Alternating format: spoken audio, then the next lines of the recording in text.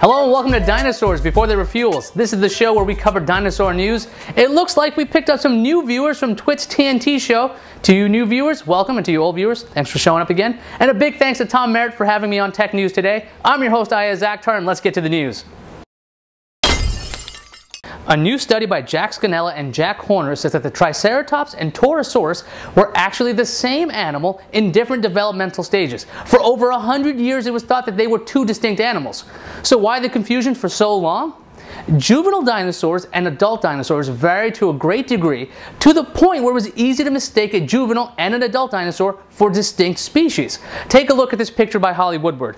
On the left is a Triceratops, on the right is what was thought to be the Torosaurus, but is really a Triceratops. You can see the difference in the frills right away.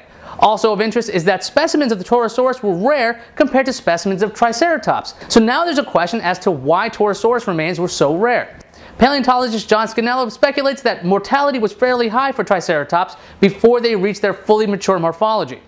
So if the Triceratops and Torosaurus are the same animal, what does this mean? This would have dinosaur diversity implications, that before the extinction, that the diversity of dinosaurs was diminishing. When you think of dinosaurs hunting for food, you might think of a great chase, one dinosaur attacking prey in a forest or something like that. But would you think about a dinosaur digging for food? Large claw marks have been found in Utah. These marks suggest that a theropod dinosaur about 1 to 2 meters tall was probably clawing to reach something to eat. In this case, something to eat means some kind of mammal.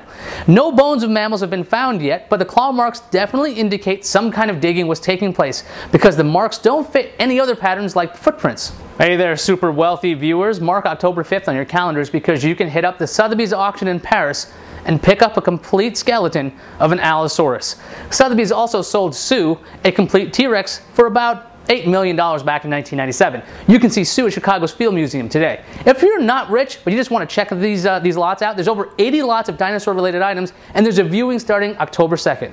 Tired of just hearing about dinosaurs? Why not go out and take a closer look? If you're near Edmonton, Alberta, Canada, check out the Jurassic Forest where you can tour the forest and see giant robot dinosaurs. The robots have sensors so they react differently depending on which angle you approach them. Plus it's kid friendly. The Jurassic Forest opens on the 30th of July. If you're near Buffalo, New York, visit the Buffalo Museum of Science. What's there? The Touring Robotic Dinosaurs exhibit. Even cooler is a dinosaur that you can control using a control pad. The exhibit is going to be around for another four months. And that does it for this episode of Dinosaurs Before They Were Fuels. We've got links to all the stories we talked about available at dinoshow.com. If you've seen a story you think we should cover, email us at finitecomedy at gmail.com. I'm Ayaz Akhtar, and I'll see you in around two weeks.